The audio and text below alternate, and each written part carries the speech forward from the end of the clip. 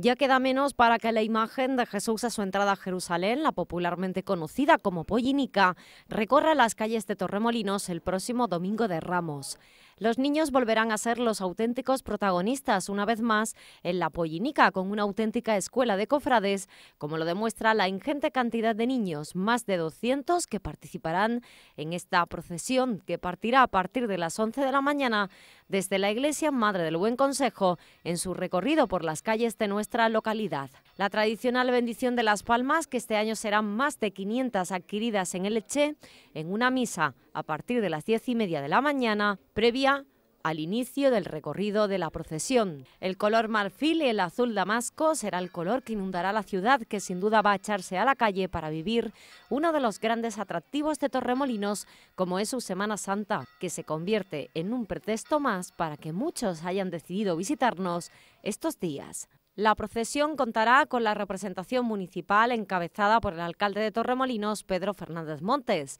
que irá acompañado igualmente de diferentes autoridades de los cuerpos de seguridad, así como de las distintas hermandades de Torremolinos. El trono de Jesús a su entrada en Jerusalén irá portado por 60 hermanos y la imagen irá acompañada por los sones de la agrupación musical San Isidro Labrador de Churriana. Por su parte, a la cabeza de la procesión irá la Banda Municipal de Música de Torremolinos. Sin duda se nos presenta un magnífico Domingo de Ramos, primer día de algo grandioso, la Semana Santa de Torremolinos.